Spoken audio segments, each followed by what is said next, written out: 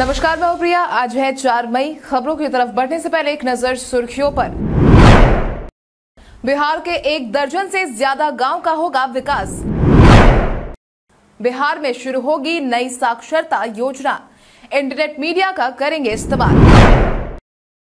शराबबंदी कानून का उल्लंघन करने वालों को नहीं मिलेगा सरकारी योजनाओं का लाभ। इस मामले में बिहार पहुँचा देश भर में दूसरे स्थान पर। इस दिन से शुरू होगी इंटर कंपार्टमेंटल सह विशेष परीक्षा का मूल्यांकन। अब चले बढ़ते हैं बिहार की 25 बड़ी खबरों की ओर विस्तार से। बिहार के एक दर्जन से ज़्यादा गाँव का होगा विकास। बिहार के एक दर्जन से ज़्यादा गाँव का विकास होने वाला है। पथ निर्माण विभाग की तरफ़ से मिली जानकारी के अनुसार टूरिस्ट वे ऑफ़ राजगीर ऐसे स्थानों से अब गुजरने वाला है, जहाँ आबादी कम है। इसके कारण इस सड़क पर ट्रैफ़िक लोड भी कम है। मीडिया में चल रही खबरों के अनुसार टूरिस्ट वे ऑफ़ राजगीर को लेकर कई गाँव में सड़क गुजरने वाली है, जिससे ही उम्मीद जताई जा रही है कि दर्जन भर से अधिक नए गाँव का विकास होगा। करौटा से सालेहपुर के लिए 10 मीटर चौड़ी सड़क बन रही है। टूरिस्ट वे ऑफ़ राजगीर के निर्माण से पटना से राजगीर की दूरी 33 किलोमीटर कम हो जाएगी। 108 किलोमीटर से घटकर ये दूरी अब महज 75 किलोमीटर रह जाएगी। हाल ही में मुख्यमंत्री नीतीश कुमार ने भी इस सड़क का निरीक्षण किया था। आज बिहारी पहचान में हम बात करेंगे ब्रह्मानंद एस सिंह की। ब्रह्मानंद एस सिंह या ब्रह्मानंद सिंह एक राष्ट्रीय पुरस्कार विजेता, फ़िल्म निर्माता और मुंबई, भारत में एक स्थित, एक व्यापक रूप से प्रकाशित लेखक हैं। उन्हें कागज़ की कश्ती जगजीत सिंह पर एक बायोपिक और आर डी बर्मन पर उनकी फीचर लंबाई वाली डॉक्यूमेंट्री पंचम अनमिक्स्ड मुझे चलते जाना है, जैसे फ़िल्मों के लिए जाना जाता है। उन्होंने सामाजिक प्रभाव, परियोजनाओं और आशा के विचारों के माध्यम से जीवन को बदलने के लिए संयुक्त राष्ट्र के साथ साझेदारी में ई एक्स कर्मवीर चक्र पुरस्कार भी जीता है। सिंह की नवीनतम फीचर परियोजना झलकी एक फ़िल्म फीचर है, जो एक आकर्षक नाटक के माध्यम से बड़े पैमाने पर बाल तस्करी और बाल श्रम की वैश्विक समस्या के बारे में जन जागरूकता पैदा करने का प्रयास करती है।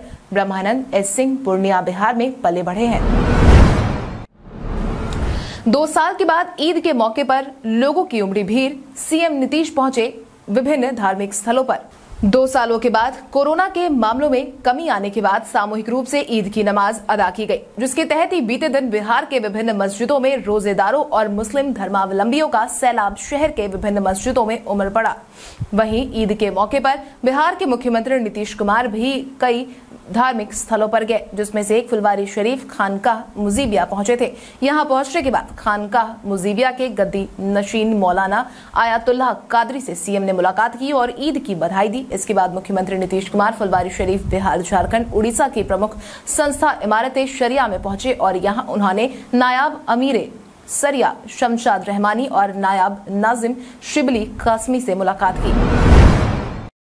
बिहार में शुरू होगी नई साक्षरता योजना, इंटरनेट मीडिया का करेंगे इस्तेमाल।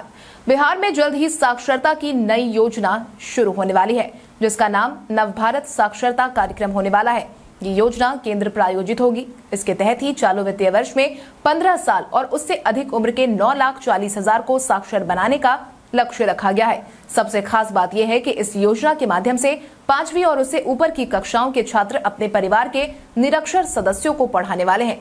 टीचर्स ट्रेनिंग कॉलेज के छात्र भी तीन से चार निरक्षरों को हर साल साक्षर करने का काम करेंगे। इस योजना को अमली जामा पहनाने के लिए ही सभी अड़तीस जिलों में एक एक नोडल अफसरों को अहम ज़िम्मेदारी भी दी गई है। पूर्णिया के बाद अब भोजपुर में शुरू होने वाला है सबसे बड़ा इथेनॉल प्लांट। हाल ही में बिहार सरकार की तरफ़ से पूर्णिया ज़िले को इथेनॉल प्लांट की सौगात मिली है, जिसके बाद अब जल्द ही भोजपुर में भी इथेनॉल प्लांट शुरू होने वाला है। मीडिया में चल रही खबरों के अनुसार भोजपुर ज़िले के गढ़हनी के देवरी में Bihar distilleries and bottlers company में इथेनॉल का चरणबद्ध उत्पादन शुरू हो गया है। इसे अब एक जुलाई तक लक्ष्य के अनुरूप पहुँचाया जाएगा। कच्चे माल के तौर पर चावल के टुकड़ों का इस्तेमाल होगा। क्षेत्र में इसकी खासी उपलब्धता है। इसके बाद मुख्यमंत्री नीतीश कुमार और उद्योग मंत्री शाहनवाज हुसैन उद्घाटन करने वाले हैं। कंपनी ने अभी 40 किलो लीटर इथेनॉल का उत्पादन शुरू कर दिया है। योजना के अनुसार चरणबद्ध तरीके से इसे बढ़ाकर हर दिन चार लाख लीटर तक ले कर जाना है। भारतीय सेना ने निकाली रिक्तियाँ। भारतीय सेना ने नाई, चौकीदार, एलडीसी सफ़ाई वाला स्वास्थ्य निरीक्षक, रसोईया, व्यापारी साथी, वार्ड सहायिका, धोबी के कुल मिलाकर एक पद पर आवेदन की मांग की है। इन पदों के लिए शैक्षणिक योग्यता की बात करें तो अभ्यर्थियों के पास मैट्रिक या टेन प्लस टू और संबंधित ट्रेड का अच्छा ज्ञान होना अनिवार्य है। इच्छुक और योग्य उम्मीदवार, अंतिम तारीख 13 मई 2022 तक। आधिकारिक website join Indian army dot N I C dot I N पर जाकर आवेदन भर सकते हैं। इसके साथ ही आप इन पदों से जुड़ी तमाम जानकारी नीचे डिस्क्रिप्शन बॉक्स में दिए गए यूआरएल से जाकर ले सकते हैं। अड़तीस में से इकतीस जिलों में आंधी पानी के आसार। बढ़ती गर्मी के बीच बारिश की खबरें लोगों को बड़ी राहत दे रही है। हालाँकि राजधानी पटना समेत कई जिलों में बारिश की स्थिति तो देखने को नहीं मिली। लेकिन अभी भी पूर्वा हवा की मज़बूत स्थिति और बिहार के ऊपर से गुजरती ट्रफ लाइन के प्रभाव से राज्य के 31 जिलों में आंधी पानी के आसार बने हुए हैं। मौसम विभाग की तरफ़ से जो जानकारी साझा की गई है, उसके अनुसार मौजूदा मौसम को लेकर येलो अलर्ट जारी किया गया है। मौसम विज्ञानियों की माने तो इस तरह की स्थिति शुक्रवार तक बनी रहेगी। मौसम वैज्ञानिकों का ये भी कहना है कि ये प्री मानसून के संकेत है। बिहार में भ्रष्टाचार के आरोपित अधिकारियों को अब नहीं मिलेगा प्रमोशन। हाल ही में निगरानी विभाग ने बीते 15 सालों में किए गए कार्रवाई का ब्यौरा जारी किया था, जिसमें ही पैतालीस सौ सत्रह लोक सेवकों के खिलाफ भ्रष्टाचार के अलग अलग मामलों में केस दर्ज करने या उनके खिलाफ किसी न किसी तरह की जाँच करने की बात कही गई है। साथ ही अब भ्रष्टाचार में संलिप्त कर्मियों के प्रमोशन को लेकर बड़ा निर्णय लिया गया है। इसको लेकर हाल ही में निगरानी की तरफ़ से ऐसे 4517 भ्रष्ट सरकारी कर्मी और अधिकारियों की सूची जारी करते हुए ही सभी विभागों को भेजा गया है। जिसके बाद ही सभी विभागों को ये सूचित किया गया कि वो इस सूची के आधार पर ही प्रोन्नति पर निर्णय ले। यानी कि अब एक बात तो तय है कि बिहार में भ्रष्टाचार के आरोपित अधिकारियों को पदोन्नति नहीं मिलने वाली है। अब इन अधिकारियों के हाथ में होगा बाढ़ से बचाव का जिम्मा। बिहार में बाढ़ एक बहुत बड़ी समस्या है। यही कारण भी है कि बाढ़ से बचाव के लिए बिहार में लगातार हर साल प्रयास भी किए जाते रहे हैं। इसी के तहत अब इंजीनियर संवेदनशील स्थल की अब पहचान करने वाले हैं और उसकी सुरक्षा की जिम्मेवारी संभालने का काम अब डीएम और एसपी के हाथ में भी होगा। इतना ही नहीं, अब ऐसे सभी संवेदनशील स्थलों पर सशस्त्र पुलिस बल की तैनाती होगी। सभी तटबंधों पर पेट्रोलिंग की जिम्मेवारी होमगार्ड नहीं, बल्कि जिला पुलिस के जवान संभालेंगे। जिला पदाधिकारी अपने क्षेत्र के बाढ़ सुरक्षा में लगाए जाने वाले सभी कर्मियों का ड्यूटी चार्ट 15 जून से पहले बनाकर संबंधित व्यक्ति को इसकी जानकारी देने वाले हैं। आपकी जानकारी के लिए आपको बता दें कि मुख्य सचिव आमिर सुबहानी ने इस वर्ष बाढ़ से बचाव के लिए व्यवस्था में बदलाव किया है। उनके निर्देश के आलोक में जल संसाधन विभाग ने आदेश जारी कर दिया है। आदेश के अनुसार राज्य में बाढ़ से बचाव की जिम्मेवारी अब सिर्फ़ इंजीनियरों के मत्थे नहीं होगी। इस बार इसकी जिम्मेवारी संबंधित जिलों के जिलाधिकारी और आरक्षी अधीक्षकों को भी दी गई है। बीएसएससी सीजीएल परीक्षा को लेकर जारी हुआ अहम नोटिस। बिहार कर्मचारी चयन आयोग ने बिहार में इक्कीस पदों के लिए होने वाली स्नातक स्तरीय परीक्षा को लेकर बीते दिनों अहम नोटिस जारी किया है। आयोग की तरफ़ से मिली जानकारी के अनुसार जारी नोटिस में कहा गया है कि बिहार कर्मचारी चयन आयोग पटना की तरफ़ से स्नातक स्तरीय इक्कीस पदों पर नियुक्ति के लिए योग्य अभ्यर्थियों के चयन के लिए तृतीय स्नातक स्तरीय संयुक्त प्रतियोगिता परीक्षा का विज्ञापन 6 अप्रैल 2022 को प्रकाशित किया गया है। प्रकाशित विज्ञापन में स्वास्थ्य विभाग, बिहार पटना द्वारा उपलब्ध कराई गई सूचना में मलेरिया निरीक्षक के पद का उल्लेख किया गया। आयोग की तरफ़ से इसे संशोधित कर अब वेक्टर रोग नियंत्रक पदाधिकारी नाम दिया गया है। शराबबंदी कानून का उल्लंघन करने वालों को नहीं मिलेगा। सरकारी योजनाओं का लाभ। बिहार में शराबबंदी को लेकर सरकार एक के बाद एक सख्त नियमों को लागू कर रही है। इसी के तहत सरकार इस कानून को लेकर इतनी ज़्यादा सख्त हो गई है कि शराबबंदी कानून को तोड़ने वाले लोगों को सरकारी योजनाओं का लाभ नहीं देने वाली है। मीडिया में चल रही खबरों के अनुसार इसको लेकर सरकार की तरफ़ से शराब पीने वाले लोगों की पहचान कर अब उन्हें सरकारी योजनाओं से वंचित किया जा रहा है, जिसकी जानकारी खुद मध्य निषेध विभाग के आयुक्त बी कार्तिकेय धनजी ने दी है। उन्होंने ही बताया है कि शराब से जुड़े मामलों में तीन गुना अधिक बढ़ोतरी देखने को मिली है, जिसके कारण ही सजा दर भी अब बढ़ा दी गई है। चौदह मई को इस मामले को लेकर लोक अदालत लगाया जाएगा, जिससे शराबबंदी से जुड़े मामलों को जल्द से जल्द निपटाने का काम भी किया जा सके। पवन सिंह ने की सीएम नीतीश से कानून लाने की मांग। भोजपुर इंडस्ट्री के सुपरस्टार पवन सिंह आए दिन मीडिया की सुर्खियों में बने रहते हैं। इसी बीच और पवन सिंह ने सीएम नीतीश कुमार से बीते दिन एक कानून बनाए जाने को लेकर खास अपील की है, जिसके तहत इन्होंने सोशल मीडिया पर एक पोस्ट शेयर करते हुए लिखा कि भोजपुरी गीत संगीत के माध्यम से जिस तरह जातिवाद का जहर बोया जा रहा है, उस पर अंकुश लगना चाहिए। नहीं तो बिहार की प्रतिष्ठा न धार्मिक स्तर पर, न सामाजिक स्तर पर और न ही राजनीतिक स्तर पर बचाई जा सकती है। इसलिए आपसे आदर्श सहित अनुरोध है कि कैबिनेट के माध्यम से शीघ्र कोई ऐसा कानून बिहार में लाने की कृपा करें इस दिन से शुरू होगी इंटर कंपार्टमेंटल सह विशेष परीक्षा का मूल्यांकन। बिहार बोर्ड ने इंटर कंपार्टमेंटल सह विशेष परीक्षा के मूल्यांकन की तारीख बीते दिन जारी कर दी है, जिसके तहत ही मूल्यांकन की प्रक्रिया सात से नौ मई तक होने वाली है। इसको लेकर बोर्ड ने मूल्यांकन में शामिल होने वाले परीक्षकों का नियुक्ति पत्र भी जारी कर दिया है। ज्ञात हो कि इंटर कंपार्टमेंटल परीक्षा आज समाप्त हो जाएगी। बिहार बोर्ड के प्रयास से कंपार्टमेंटल परीक्षा देने वाले चार हज़ार छात्रों को सुविधा हुई। उनका साल बर्बाद नहीं हुआ। इसके अलावा जो छात्र इंटर वार्षिक परीक्षा नहीं दे पाए थे, उनके लिए विशेष परीक्षा ली गई। राज्य भर से पैतालीस हज़ार से अधिक छात्र इसमें शामिल हुए थे। इस मामले में बिहार पहुँचा देश भर में दूसरे स्थान पर। बिहार, कई मामलों में देश के टॉप टेन राज्यों की सूची में शुमार रहता ही है। अब एक और मामले में बिहार ने कई राज्यों को पीछे छोड़ने का काम किया है। प्रधानमंत्री सुरक्षित मातृत्व अभियान, पीएमएसएमए के तहत जारी किए गए रिपोर्ट के अनुसार गर्भवती महिलाओं के प्रसवोत्तर देखभाल में बिहार को देश भर में दूसरा स्थान प्राप्त हुआ है। जानकारों की माने तो बिहार सरकार के लगातार स्वास्थ्य जागरूकता कार्यक्रम के परिणाम ही है कि गर्भवती महिलाएँ स्वयं और गर्भ में पल रहे शिशु के स्वास्थ्य को गंभीरता पूर्वक ले रही है।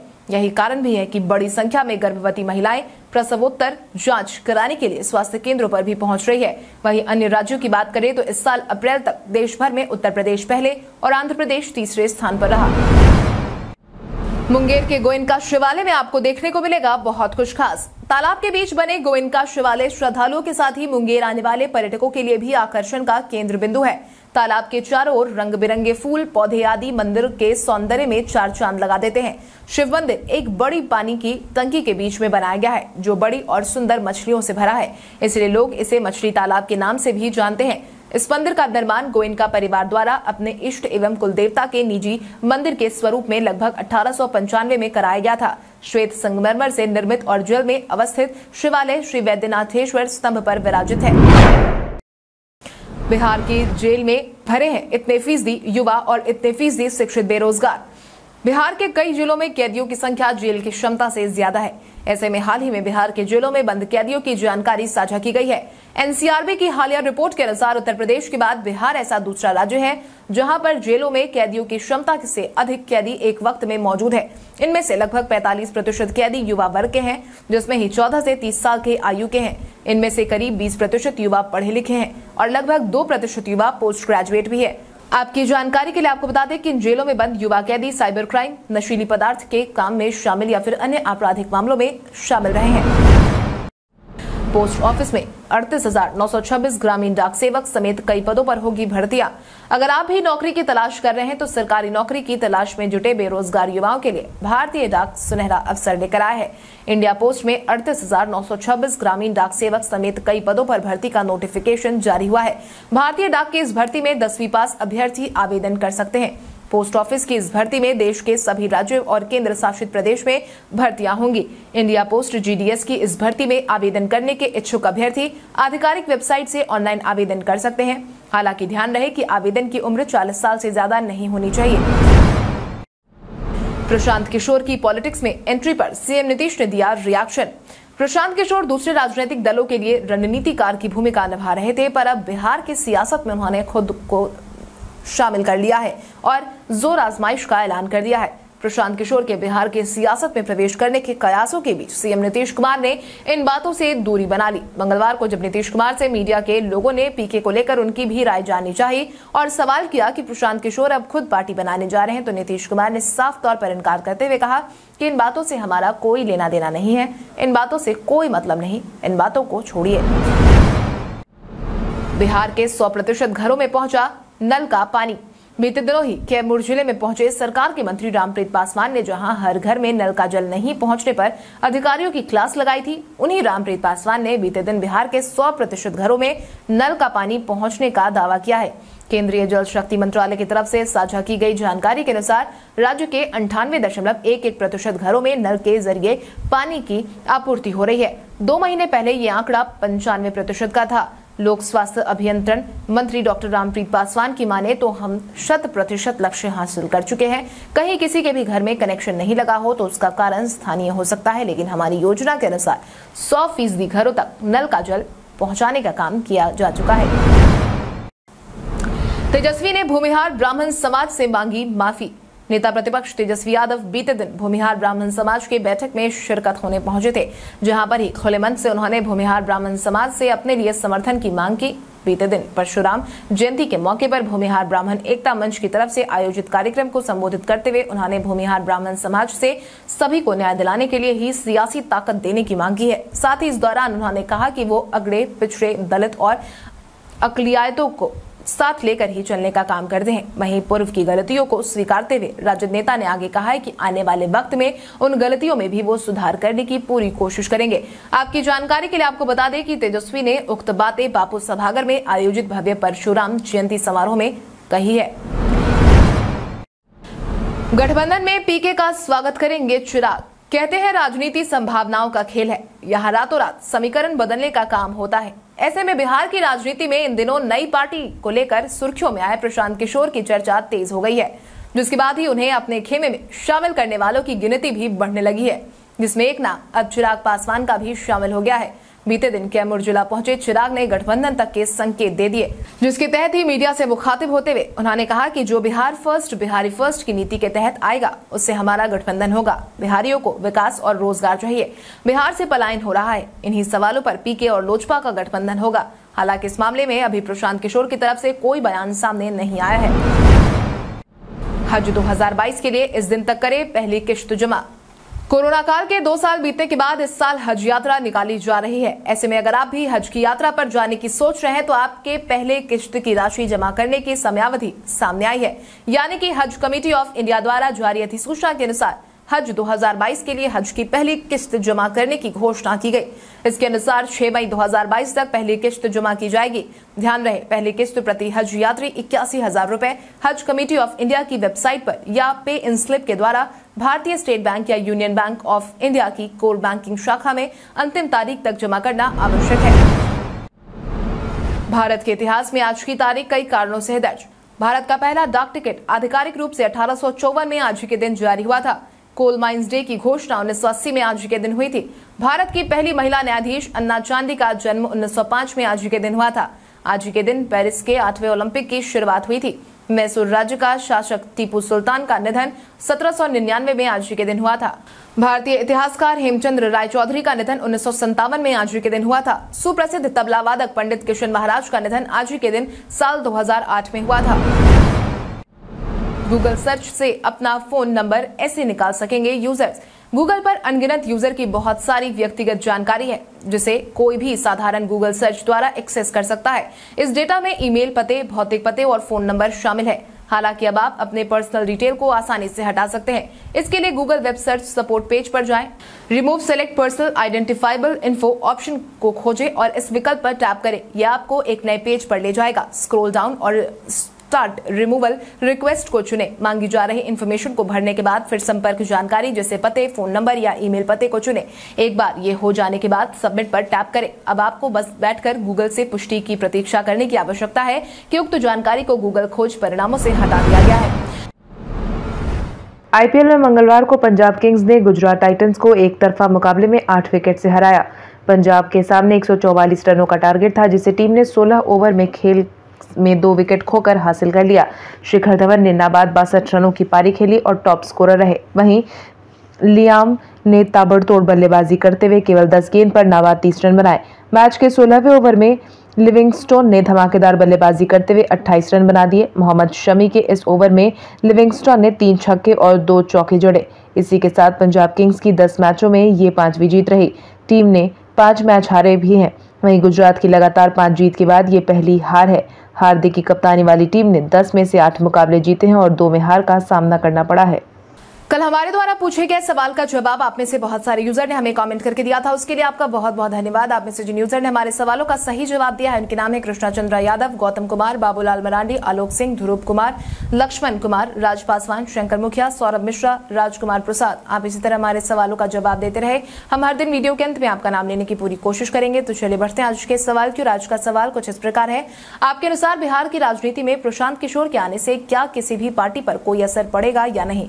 अपने जवाब में कॉमेंट करके ज़रूर बताएँ। इसके साथ ही आज के लिए बस इतना ही। बिहार की बड़ी खबरों से अपडेटेड रहने के लिए हमारे यूट्यूब चैनल को सब्सक्राइब करें और बेलाइकॉन दबाना ना भूलें। धन्यवाद।